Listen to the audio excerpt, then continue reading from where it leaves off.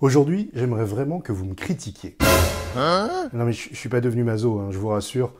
Vraiment, j'aimerais que vous me critiquiez et vous allez comprendre pourquoi.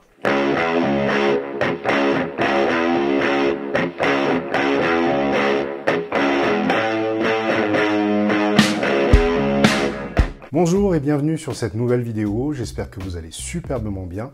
Si vous ne vous êtes pas encore abonné à cette chaîne, abonnez-vous. Et si vous n'avez pas encore téléchargé mon e-book gratuitement, bien évidemment, développer votre leadership grâce à la posture de manager coach, je vous remets encore une fois le lien juste en dessous de cette vidéo. Mais aujourd'hui, j'aimerais que l'on parle de l'importance de la critique. D'ailleurs, pour cela, je vais vous raconter une histoire.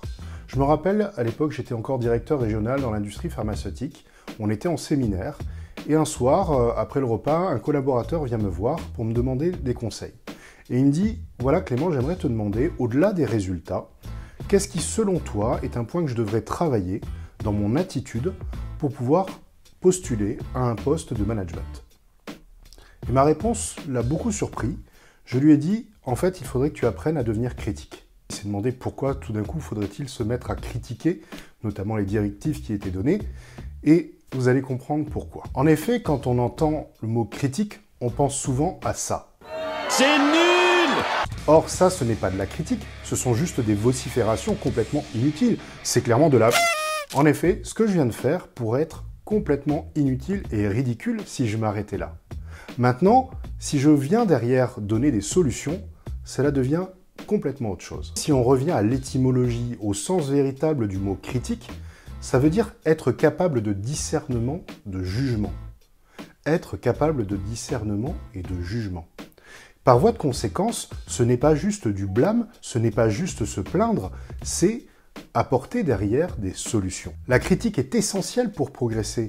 Il faut savoir être autocritique. Il faut savoir donner de la critique de la vraie critique. Et il faut savoir accepter la critique. D'ailleurs, je me souviens d'une fois où j'arrivais au laboratoire, au siège du laboratoire où je travaillais, et à l'extérieur était présent mon grand patron. Celui-ci me demande, en me disant bonjour, alors Clément, euh, comment vas-tu? Dis-moi, la nouvelle campagne, qu'en penses-tu? Quels sont les retours? Est-ce qu'elle fonctionne bien? Et là, je lui réponds, bah, monsieur, en effet, euh, la campagne est excellente. Il y a juste un point pour moi qui euh, devrait être modifié, qui devrait être rectifié, parce que j'ai été déçu des retours concernant ce point. Ce point, il s'agit en effet de l'introduction, de l'accroche, qui n'a pas l'impact euh, voulu. Alors pour ma part, si ça vous intéresse, j'ai refait une accroche, je pourrais vous la montrer, et vous me direz ce que vous en pensez. Je lui ai fait l'accroche, puisqu'il me l'a demandé. Là derrière, il m'a dit, viens, on monte dans mon bureau. voilà dans l'ascenseur direction son bureau.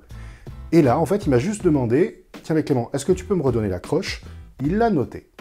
Et pour vous dire, deux mois plus tard, lorsque la, campagne était réévaluée pour être optimisée, comme par surprise, la nouvelle accroche qui était en haut du texte était, à peu de choses près, celle que je lui avais fournie.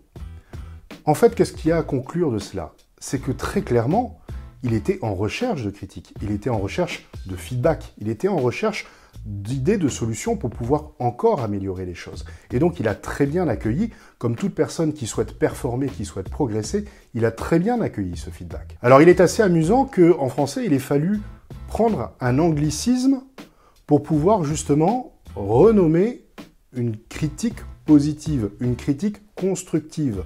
Il a fallu qu'on l'appelle feedback. Alors que le mot critique, à la base, c'est cela. Lorsque je fais des vidéos, ou lorsque j'interviens lors de conférences, lors d'ateliers, lors de formations, bien évidemment que je suis friand et prêt à accueillir les critiques, les critiques qui vont me permettre de progresser. Et d'ailleurs, je vais même au devant de ces critiques, je vais les demander. Mais il faut avouer que nous ne sommes jamais à l'abri quand on s'expose, quand de toute façon on se met à parler en public, de recevoir, non pas des critiques, mais des vociférations, comme j'ai pu vous le dire. D'après vous, quelle importance donner à une vocifération? Eh bien tout simplement aucune. Si je vois une vocifération, c'est-à-dire une critique qui n'est pas constructive sur un atelier, sur une conférence ou sur une vidéo que j'ai pu faire, eh bien tout simplement je la laisse passer. Elle ne présente strictement aucun intérêt. Je la regarderai d'un œil et je passerai à autre chose. Ça serait juste une perte de temps. Si, par contre, je me dis en effet une chose. Je me dis en effet que la personne qui a écrit cela est sûrement très mal dans sa vie, elle a sûrement un mal-être, et euh, bah, je lui souhaite d'arriver à, à, aller mieux et de trouver des solutions. Mais ne pas donner de solutions et juste faire des vociférations n'a strictement aucun intérêt. Maintenant, dans votre vie professionnelle, justement, c'est très important de développer cette capacité à être critique, que ce soit même dans votre vie professionnelle, mais aussi dans votre vie personnelle. Alors c'est vrai qu'on n'est pas forcément à l'aise avec, je dirais, l'art de la critique, le savoir-faire pour pouvoir faire une critique constructive. Et donc j'aimerais vous proposer deux méthodes très simples pour pouvoir justement faire des critiques constructives, des vrais feedbacks si on prend l'anglicisme. La première méthode, c'est celle qui est très très connue, qui est la méthode du sandwich. Je mets d'abord quelque chose de positif, ensuite je mets l'axe de progression, et enfin, je remets quelque chose de positif. Si on reprenait l'exemple que je vous ai donné tout à l'heure, cela pourrait donner quelque chose comme Monsieur, en effet, la campagne est excellente. Je vois juste un point d'amélioration qui serait l'accroche, car je trouve qu'à l'heure actuelle, elle manque d'impact. Et, mais concernant tout le reste, honnêtement, moi, je ne vois rien d'autre à changer. Donc, comme vous l'avez vu, c'est une méthode qui est à la fois très simple et très efficace. Il y a encore une autre méthode qui est encore plus efficace, qui est l'utilisation de la méthode du desk. Donc le desk est très connu notamment dans la situation de gestion des conflits. Desk, c'est tout simplement dire les faits, exprimer ses émotions, S, recherche de solutions, et C, recherche de solutions communes. D'ailleurs, si vous regardez, c'est exactement la structure que j'ai utilisée tout à l'heure dans mon exemple. Et là, je vous réponds, monsieur, en effet, euh, la campagne est excellente. Il y a juste un point pour moi qui euh, devrait être modifié, qui devrait être rectifié, parce que j'ai été déçu des retours concernant ce point. Il s'agit en de l'introduction de l'accroche qui n'a pas l'impact euh, voulu. Alors pour ma part, si ça vous intéresse, j'ai refait une accroche, je pourrais vous la montrer, et vous me ce que vous en pensez. Et bien évidemment, c'est aussi quelque chose que vous pouvez mettre en place vis-à-vis de vous-même pour être autocritique. Tiens, quels sont les faits? Quelle est l'émotion que je ressens vis-à-vis de cela? Quelles sont les solutions que je pourrais apporter? Et est-ce que ces solutions sont écologiques par rapport aux personnes qui m'entourent? C'est aussi simple que cela. En faisant cela, vous apprendrez à être autocritique, à chercher des axes de progression constamment pour vous améliorer. D'ailleurs, j'ai en profité pour vous partager une phrase que je disais tout le temps à mes collaborateurs. Cette phrase, alors elle est inspirée d'une citation de Bob Marley. Donc cette citation qui était à tout problème il existe une solution, s'il n'y a pas de solution c'est qu'il n'y a pas de problème. Et à cette phrase j'adorais rajouter cela donc devient un paramètre. Parce qu'en en fait, s'il n'y a pas de solution, c'est que dans ce cas-là, on est obligé de mettre en place une adaptation. Si on ne peut pas résoudre le problème, par contre, on peut s'y adapter. Je vais vous donner un exemple. Il pleut, il pleut. Ce n'est pas un problème, c'est un paramètre. Vous n'avez pas de robinet pour éteindre la pluie. Par contre, on peut tout à fait mettre un par-dessus, on peut tout à fait prendre un parapluie ou adapter sa vitesse sur la route. On s'adapte à un paramètre. Le marché change, le marché change.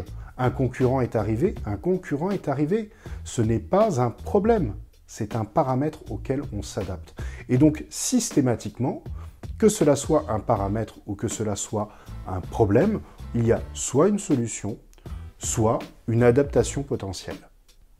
Et donc il faut toujours être dans cette recherche de solution ou adaptation potentielle. Ça ne sert à rien d'être focus sur le problème, à part perdre du temps, de l'énergie et s'énerver. Donc maintenant que vous êtes devenus des pros de la critique, j'aimerais justement vous proposer un jeu.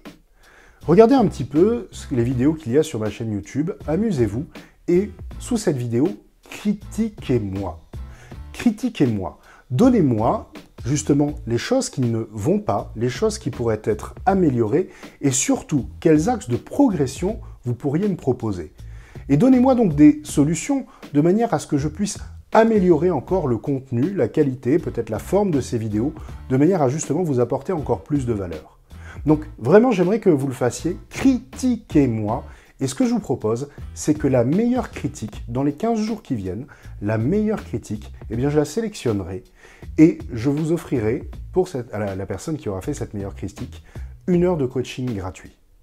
Voilà ce que je vous propose. Faites-moi la plus belle des critiques, celle qui me permettra de progresser au mieux et je vous en remercierai avec une heure de coaching offert. Donc voilà les amis, je vous souhaite une excellente fin de journée. Continuez à critiquer de manière constructive et d'ici la prochaine, je vous remercie encore de faire partie de ces personnes qui font en sorte que le bonheur au travail soit le plus grand levier de la performance. À bientôt.